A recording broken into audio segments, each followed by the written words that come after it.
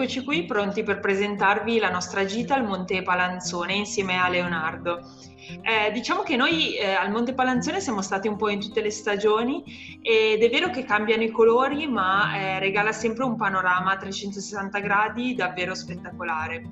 Ma facciamoci raccontare direttamente da te, Leonardo, eh, dove ci porterai esattamente con questa gita. Eccoci qua, partiamo dalla porta montana del Triangolo Lariano, la colma di Sormano, in comune appunto di Sormano, che è l'ingresso del piano del Tivano. Piano del Tivano ricco di leggende e qualcuna ve la racconterò lungo il percorso. È un percorso non brevissimo, qui si vede l'obelisco che c'è in cima e ci sono un paio di tratti piuttosto ripidi, però sicuramente è una gita che vale la fatica che si può fare per, per effettuarla. Insomma. Qui vediamo lungo il percorso, quasi arrivati in cima, il rifugio Riella, da cui si vede il panorama sul, sul lago ed è un punto di appoggio, come diceva Beatrice, qui ci si va in tutte le stagioni, inverno compreso, ed inverno una bella polenta calda a Rifugio Riella è un must.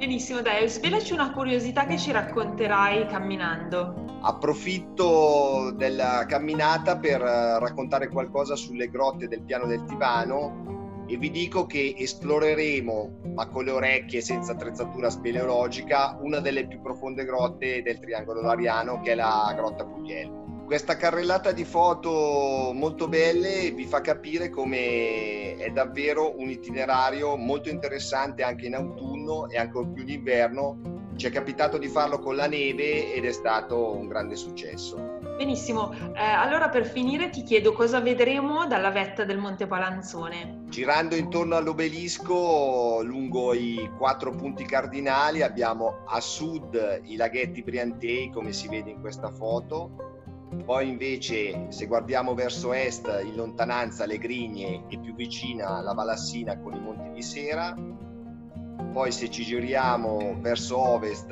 il lago di Como che scende appunto verso la città di Como e verso nord abbiamo le Alpi dal Monte Rosa alle Alpi svizzere. Ottimo, direi allora che aspettiamo tutti armati di macchina fotografica o perlomeno di cellulare per immortalare questo fantastico panorama. Sì, sì, tutti pronti per l'assalto al palanzone.